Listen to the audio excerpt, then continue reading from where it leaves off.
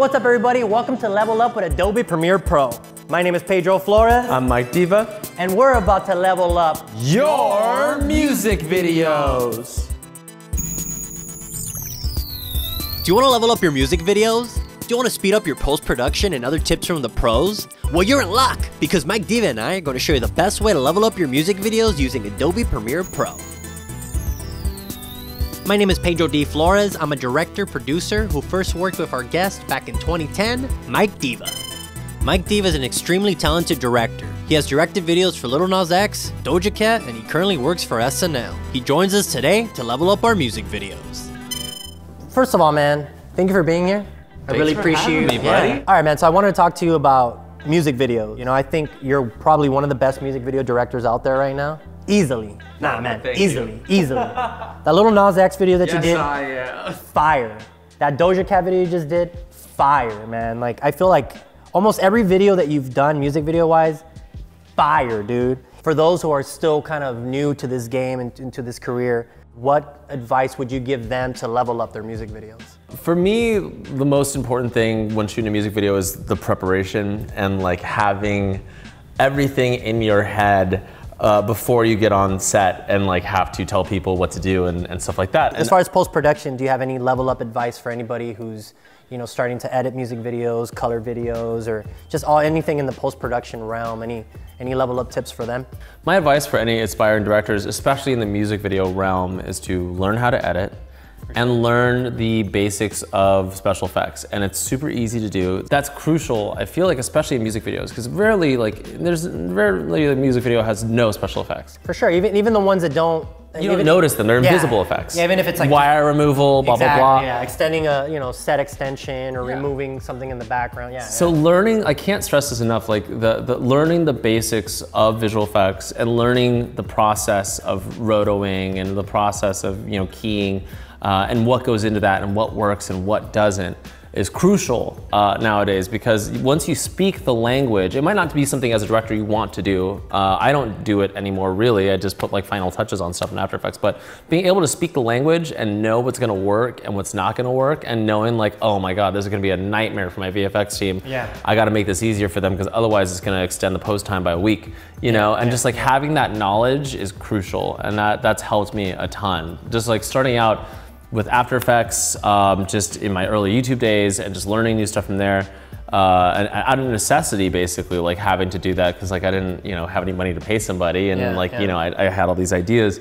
Um, it's really helped me be able to communicate to teams of VFX artists and to work with them to get the uh, the shot that I want. dude, I appreciate you helping out, man. It was fun. Yeah, I'm man. Looking forward to seeing what you do. Yeah, let's see how it goes.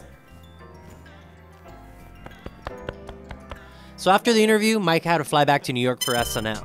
But using his advice, I was on a mission to direct a super awesome music video. Hey, what's up, guys? So it's been a couple of weeks since we interviewed Mike Diva, and we took all his advice and applied it to this video. And not only that, we took everything we learned from previous Level Up videos and applied it to this music video. And I could honestly say it's one of the greatest videos I've ever directed. So here it is, guys. I hope you guys enjoy it. Make sure you guys stay tuned afterwards so you guys can see how I leveled up the edit using Adobe Premiere Pro and Frame.io. Enjoy, guys.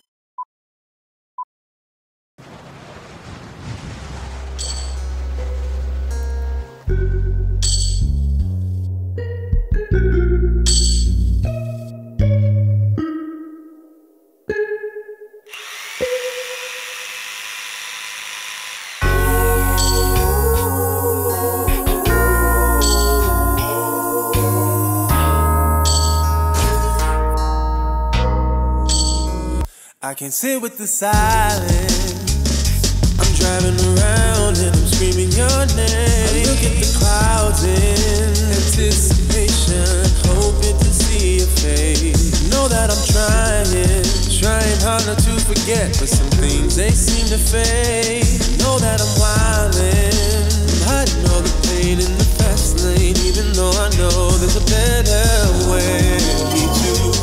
too. All right, guys, so next thing I want to show you is how I did some advanced color correction using Premiere's AE Link and rotoscoping. And we'll start with this shot right here. Now this shot, as you can see, she's a little too dark. Everything else is fine in the scene. I just want to brighten her up a little bit more. And that's easy using Premiere's Dynamic Link and After Effects. So first, right click on the clip and replace with After Effects composition. Now what you want to do is duplicate the footage. This is going to be your top layer. This is going to be the layer that you're going to color correct. So now go into your roto brush and just double click and you can start painting. So just kind of paint in there. Doesn't have to be perfect. Okay. And there you go. Now whatever you don't want, you could remove. Uh, just Alt to make it turn red. To remove it. Anything else you don't want, and just do that. Okay. And what's cool about the roto brush is that it does automatic keyframes, so we could just kind of move a little bit forward. And it'll automatically do some of those keyframes. So we don't have to really do it frame by frame. Okay. And now what you want to do is you want to freeze your selection after it's done. Let's freeze it. So once it's done, you pretty much have the footage isolated from the rest. You could tweak a couple settings in the roto brush and refine edge. And now we could just color correct her. So we open up Lumetri and then we just color correct it a little bit. I'm just gonna expose it a little bit higher, mess with the contrast. And uh, let me see, maybe put up the highlights a little bit. Okay, now you'll see the before and the after. Now we really made her pop out of that scene. And now when you're done, you can just go back into Premiere. And it'll be ready for you. Right here, all you gotta do is right click, render and replace. And here's the final shot in the music video. As you can see, she pops out way, way, way, way more than before. And just to recap, we used Premiere's dynamic link to send a clip to After Effects. And then in After Effects, we rotoed the footage. And then after we rotoed it and separated her from the rest of the scene, we were able to color correct her and brighten her up. And this was the final result.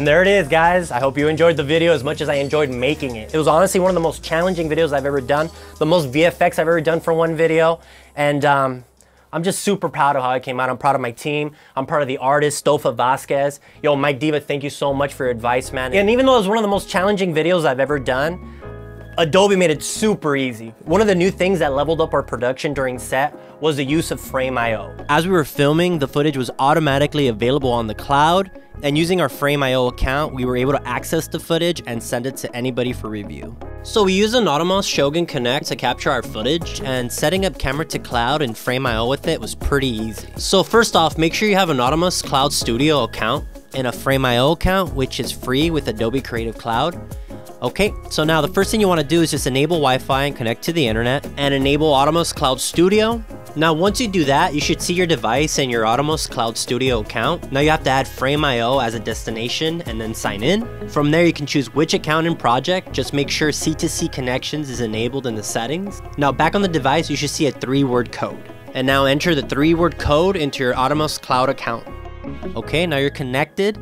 Okay, so now the footage will be sent to the destination folder in Frame.io, instantly available as soon as you stop recording, which you can access in various sources, including a phone, a laptop, even within Premiere. And there it is, everybody. I hope you guys enjoyed this series as much as I enjoyed making it. Make sure to catch all the other episodes, which are on this channel right now. And uh, I hope you guys learned something. Till the next one, guys. Peace.